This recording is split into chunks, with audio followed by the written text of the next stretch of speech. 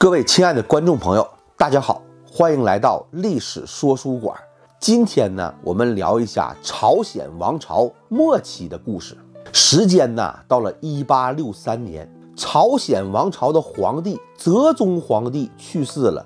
这位哲宗皇帝呀，没有儿子，这个就犯了江湖大忌，这样只能从王室的子弟里边挑一个，那是扒拉来扒拉去。各方啊，各种利益的平衡之后，当时选中了兴宣君李嗣应的儿子李希。这位李希就继位了，史称朝鲜高宗。这位朝鲜的高宗皇帝登基的时候啊，只有十二岁，只知道撒尿和泥、放屁崩坑，其他的什么都不懂。他的亲爹李嗣应就被封为了大院君。实际掌握朝权，咱们这位大院君呐，还真不是一个一般二班战士，他是朝鲜历史上著名的政治家。儿子登基继位的时候啊，这位大院君都四十四岁了，但是有一腔报国之志，那是胸怀壮志，一心想富国强兵。这位呀，废除了外戚干政，而且还把朝鲜那个大书院给作废了。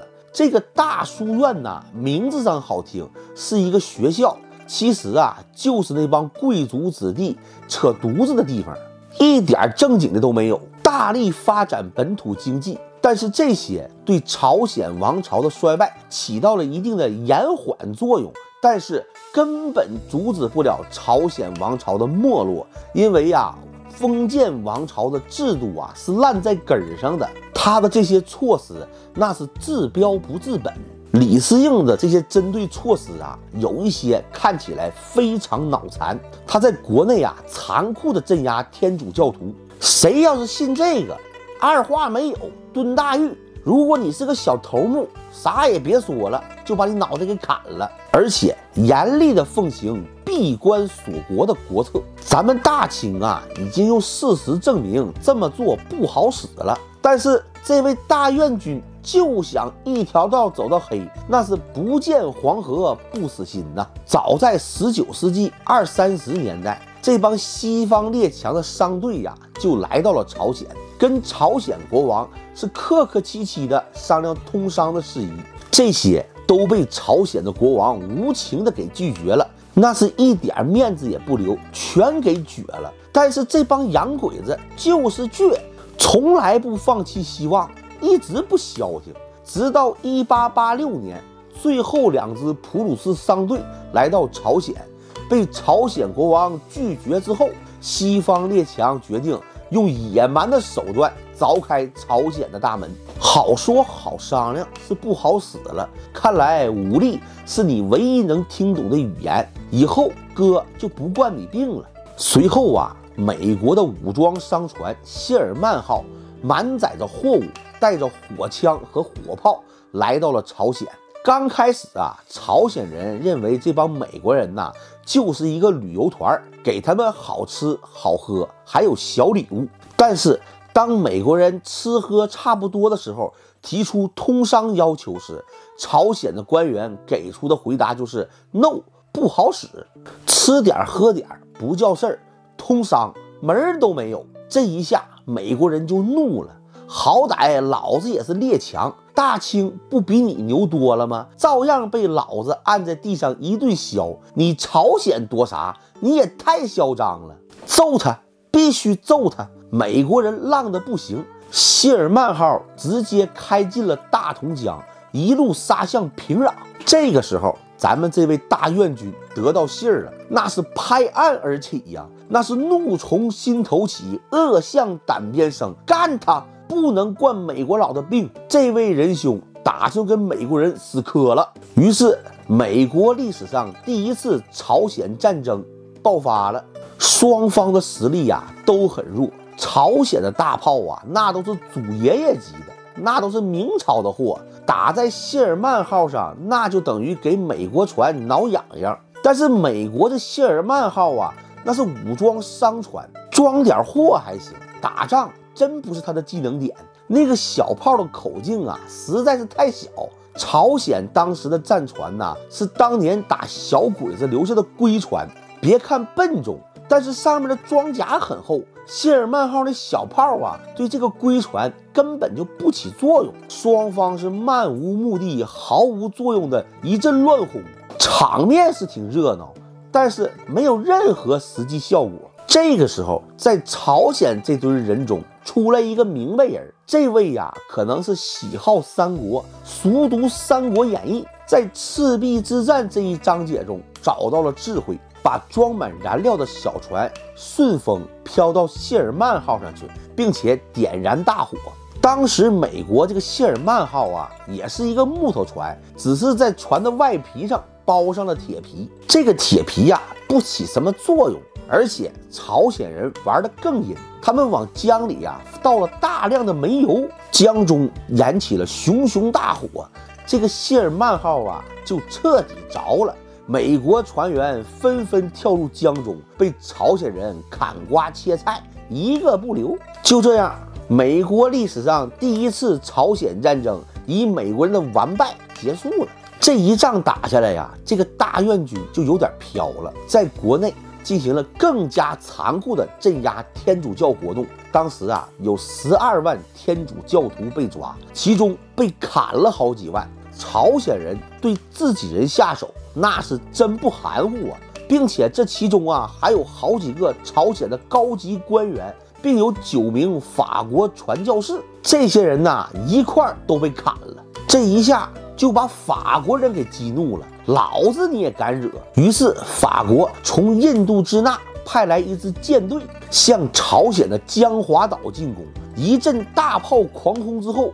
法国人登陆了，但是朝鲜的军队还真是一帮有血性的纯爷们儿，他们有土枪、土炮、大刀、长矛，还真扛住了法国人的进攻，并且造成了法国军队的一定损失。法国军队呀，有点扛不住了。他们认为朝鲜呐就是一个部落，都是一帮像非洲土人那样的人，没想到这么扛打。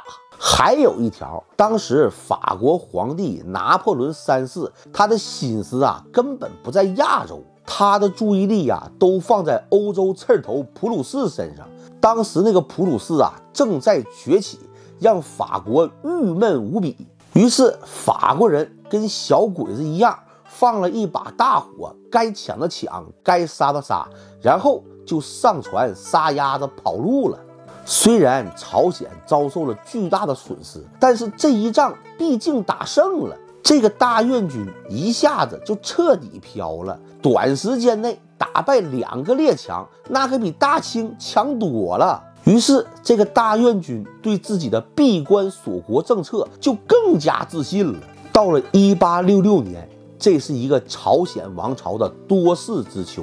这个大院军呢，给他的儿子高宗李熙是千挑万选，选了一个媳妇儿。这个女人呢，叫闵子英，比高宗大了一岁。中国人有一句俗话：“女大一不为妻”，这就是要出事儿啊。历史上称这个女人为闵妃，她还有一个更响亮的名字——明成皇后。大院军能选中这个女人，是因为这个女人的身上有一个最重要的特点，那就是她是一个孤儿，没有什么家族势力，很难建立起一个强大的外戚集团。但是这个大院军不知道，这一回他是真看走眼了。这位闵妃后来成为大院军终身的劲敌，这个娘们儿可真不白给，那是心狠手辣呀。就这样，大院军和闵妃的宫廷争斗戏就开始了。这场政治斗争一直持续了二十多年。这个闵妃婚后啊，就一直没闲着，一直是积极活动啊。她一方面稳住了自己老爷们儿李熙皇帝，另外一方面不断的拉拢自己闵氏一族的人。和一些朝中不受重用的大臣，甚至这帮不受重用的大臣里边，还有大院君的哥哥，因为这个哥哥呀，一直埋怨弟弟没有给他高官，于是大院君的哥哥就投奔了闵氏集团。到了一八七一年，美国人呐，为了报谢尔曼号的仇，派遣了一支舰队来到了朝鲜。上次被你们朝鲜军队打败了。实在是没有面子，这回就是来报仇的。双方实力呀太过悬殊，朝鲜军民是奋力抵抗，这一仗下来，死伤被俘好几千人，美国人就损失了十来个人。美国人呐异想天开，靠这些战俘作为筹码，逼迫朝鲜国王答应通商条约。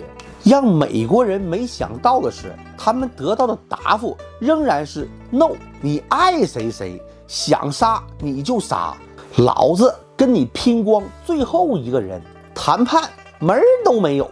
到了深夜，美国人正在熟睡的时候，上百个朝鲜老百姓向美国军营发起了自杀性攻击，就跟现在中东那帮恐怖分子玩人体炸弹差不多。这一宿真是把美国人给炸虚了。第二天一早起来，这帮美国佬一个个肝儿直颤，可拉倒吧，不跟这帮疯子玩了。刚好还遇到了暴风雨，美国人二话没说，登船撒丫子跑路了。就这么牛，朝鲜人在五年内挫败了西方列强的三次入侵，虽然是损兵折将，人员伤亡惨重。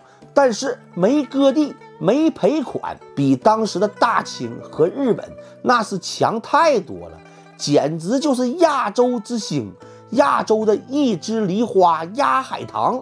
这一下，大院军那就彻底浪了，那是信心爆棚啊，有一种天老大，地老二，我老三的感觉。这个货是要把闭关锁国这个国策一条道走到黑了。这一仗。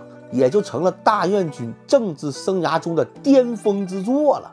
到了一八七三年，这个高宗皇帝李熙呀，已经二十一周岁了。虽然还是啥也不是，但毕竟成年了。这个闵妃就带着朝中的一帮大臣起哄架秧子，呼吁皇帝归正。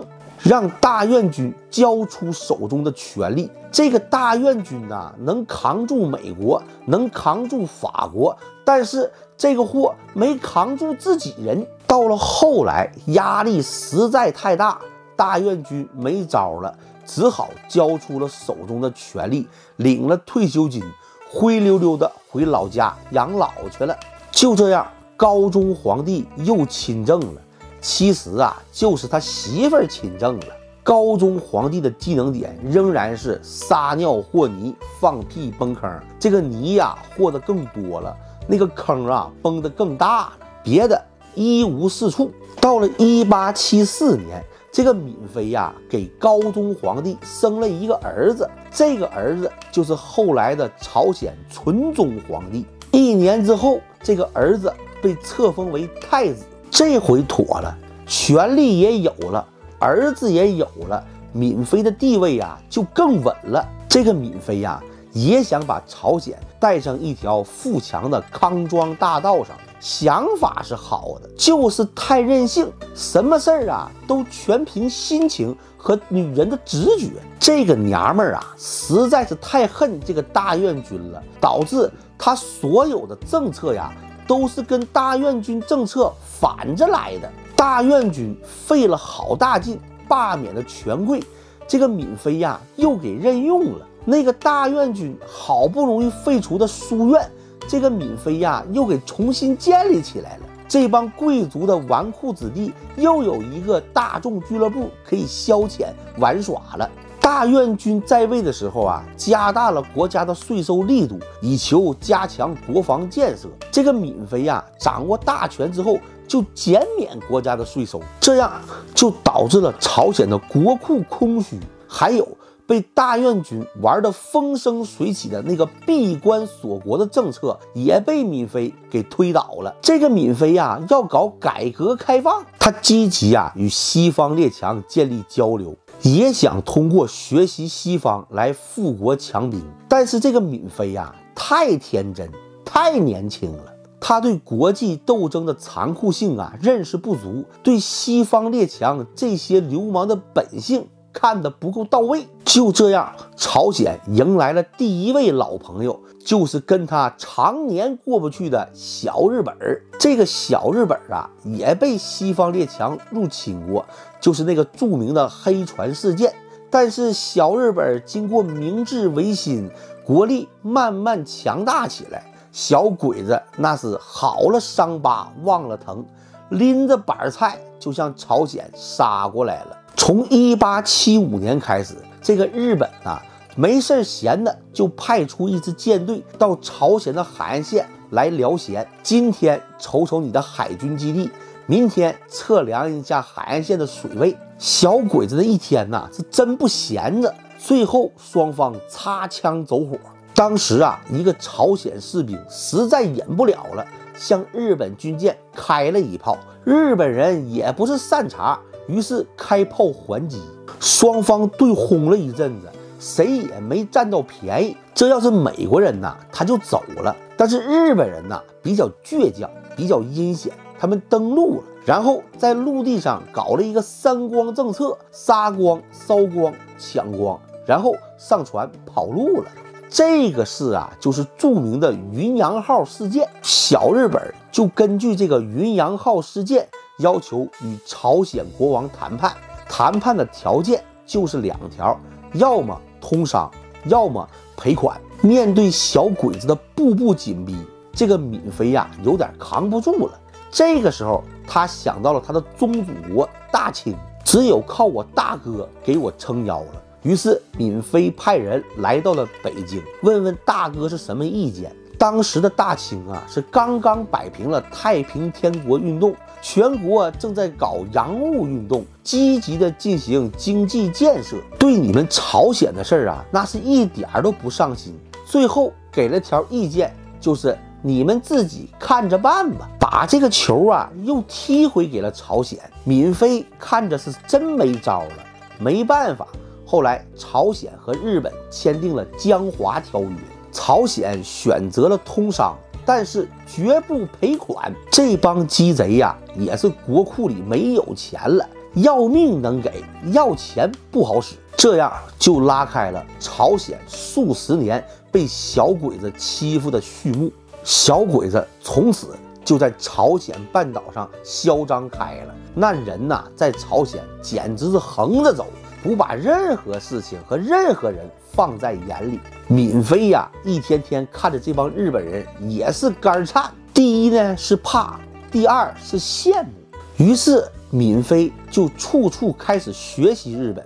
当时啊，派出了很多贵族的子弟到日本去学习。这帮贵族子弟啊，一天天吃喝玩乐行，学习他们哪是那块料啊？闵妃的想法很好，她想借此啊培养一帮有志青年到日本去好好学习，将来回到祖国建设自己的国家。谁知道日本人没长好下水，这帮货呀都是纨绔子弟，平时除了吃喝玩乐，别的啥也不会，脑子本来就空。这回去了日本，又被日本人灌进了一堆水，这些人就变成小鬼子培养出来的一帮亲日派，日后就是这帮亲日派做了日本侵略朝鲜的马前卒，把朝鲜国内闹得是乌烟瘴气呀。看来出国留学。也不见得是一件什么好事儿。这个闵妃呀，是一个八面玲珑的人。她的政治集团呢，其实上就是一个亲日集团。她一方面抱日本这条大腿，但另一方面跟我们大清也是眉来眼去。这个娘们儿啊，谁都不得罪。大清啊，有一个明白人，那就是李中堂李大人。朝鲜的问题呀，他非常关心。朝鲜呢，挨着我国的东北，东北是大清的龙兴之地。日本人的野心呐，已经昭然若揭了。这货想干什么，不用猜，你都知道。